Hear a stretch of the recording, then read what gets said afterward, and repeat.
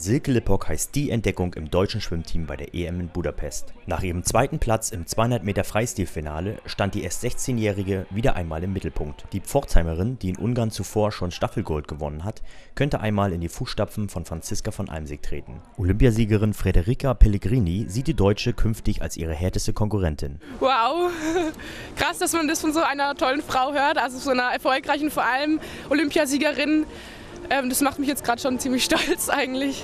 Sie ist eigentlich ähm, sehr selbstbewusst, kommt sie mir rüber, aber trotzdem bodenständig. Also eigentlich total sympathisch. Sie hat mir davor auch zugelächelt vor dem Start und so. Also ähm, ich fand sie ganz nett. Ja, also die ersten 100 ja, sollte ich auf jeden Fall schnell rumgehen. Also vorne auch dabei sein, vielleicht zweite, dritte. Dritte wäre so der schlechteste Platz.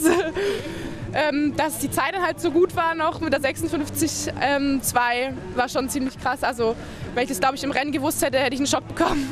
Nach 150 Meter habe ich gesehen, wow, die sind alle ziemlich ähm, nah dran. Dass dann halt nur die Federica vorne war, habe ich nicht gesehen.